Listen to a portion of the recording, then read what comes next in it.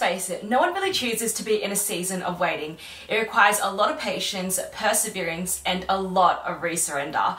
But even in the waiting season, God can be teaching us so many things, and we're going to be talking about some of those things in today's video. Hey guys, I'm Nora and welcome back to another video. Today we are talking about waiting and in particular what God can teach us in our season of waiting. You know, this is the fifth year of my own personal waiting season, and for some of you, that might look really long or really short. But whatever it is, we all have our own unique seasons of waiting. But in that, I also believe that God has the ability to teach us things about ourselves in our seasons of waiting, whether it's from the lessons that we've learned, from the mistakes we've made, or even just impartation from His Spirit. So today, we're talking about five signs that I've learned, and hopefully that encourages you to remember that even in the waiting, even though it can be difficult, there's also good things that can come out of it as well. Lesson number one is patience. Patience definitely is something that we all kind of like learn in the waiting period, often not by choice, but it's something that God teaches us and it teaches us to also trust in God as well. What I really love about patience is that it's actually a fruit of the Holy Spirit. So when I see patience in my life, I actually realize that's actually evidence of God working in me. When it comes to patience in terms of waiting for a life partner, the things that I'm reminded of is to make sure that I'm not hasty and I don't make impulsive decisions.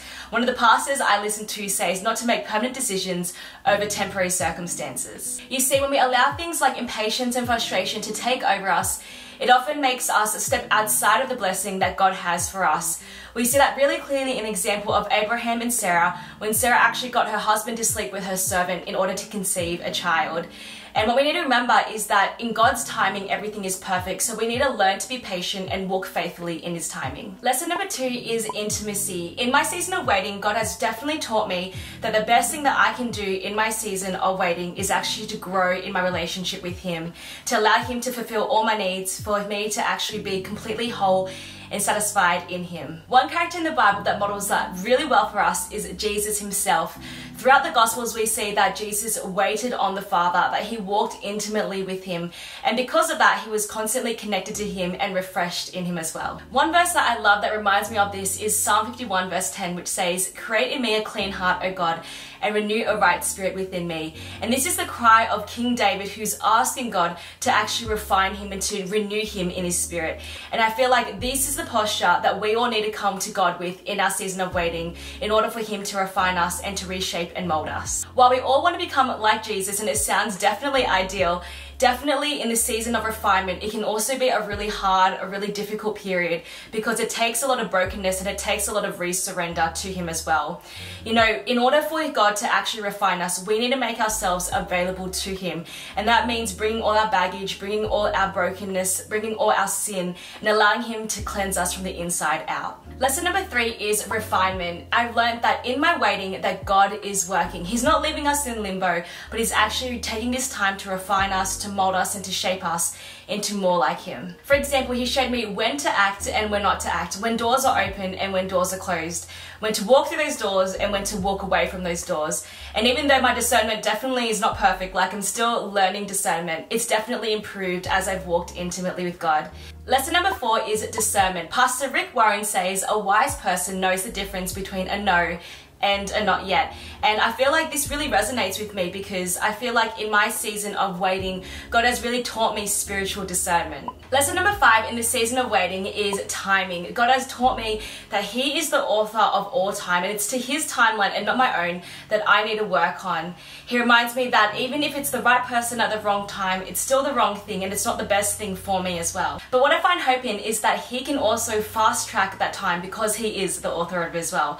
You know, for example, I know a lot of people in their 20s, in their 30s, and even in their 40s who later in life got married and when they were dating in their relationships, it wasn't just a long out drawn process that took like five years as well just to get to the engagement stage. But people ended up getting engaged after like six months. And I'm not saying that's like a normal thing, it's not saying that it's going to happen for every single person or even for myself, but it's just something that gives me hope to know that things can accelerate quickly as well. Whatever is in God's timing, He will make that come to pass in his way. One person in the Bible that I feel like had probably one of the hardest waiting seasons in the Bible was Joseph. In Psalm 105 it says, Until the time came to fulfill his dreams, the Lord tested Joseph's character.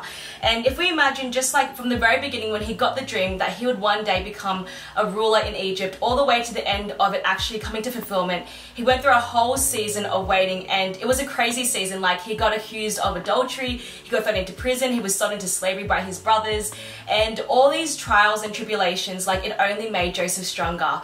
And in that time, he grew in his intimacy with God, he grew in his faith with God, and it reminds us that in our waiting season, if we do it well, we can also grow in it as well. So if you're currently in your waiting season, I want to encourage you to think about what are the lessons that God has taught you in the time of your waiting. Where were you at the start of your waiting season to where you are now? How has God challenged you? How has He grown you? How has He refined you? And even if there are still things that you need to work on, make sure that you continue to work on that and press into Him because you want to make sure that this waiting season isn't a wasted season. And trust me, I definitely know firsthand how difficult it can be to wait, especially when you feel like the promise seems like eternity away. And one thing that I'd encourage you to do is come back to God's word each time and find hope and encouragement in that. Psalm 27 verse 14 says, Wait for the Lord, be strong and let your heart take courage, wait for the Lord. In our wedding season, we all have a choice to make. We can either end up doing our own thing and see where that ends up leading us, or we can choose to stay firm in our faith and trust God, just like Joseph did. And when we do that, on the other side of our waiting, when that waiting period is over, we know that we can actually step into the full blessing of God. If God's taught you something in your waiting season, we'd love for you to comment them down below so we can read them.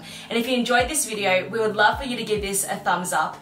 And make sure you subscribe to Salt's YouTube channel for more videos on singleness, dating, and relationships. We'll see you next time.